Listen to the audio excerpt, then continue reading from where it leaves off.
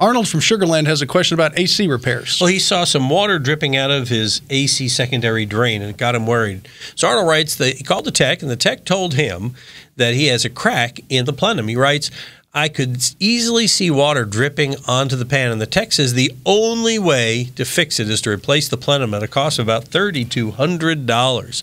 So Tom Arnold wants to know is there any way to plug the crack in the plenum? If it was truly just a crack in the plenum, you probably could put some silicone on there. I don't know what a crack in the plenum would be, but if it is, if you are in need of a new plenum, mm-hmm. no matter what the what the situation, thirty two hundred dollars is way too much money.